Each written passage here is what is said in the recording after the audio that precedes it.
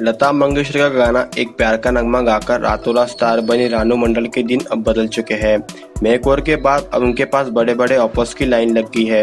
हिमेश रेशमिया ने अपनी नई फ़िल्म रानू को गाना ऑफ़र किया। इसका वीडियो उन्होंने अपने इंस्टाग्राम पर शेयर किया है। हिमेश रेशमिया ने अपने अपकमिंग फ़िल्म रानू मंडल को गाने का यह मौका दिया है। उनकी नई film Happy Hardy and Heer का यह गाना है। इसमें रानू मंडल ने तेरी मेरी कहानी नाम का गाना गाया है।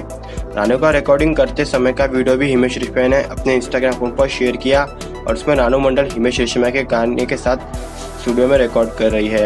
रानू जल्दी रियलिटी शो सुपरस्टार सिंगर नाम के शो में नज़र आने वाली है और इस शो में हिमेश और जजेस के साथ वो बच्चों को कंटेंट करते दिखेंगी।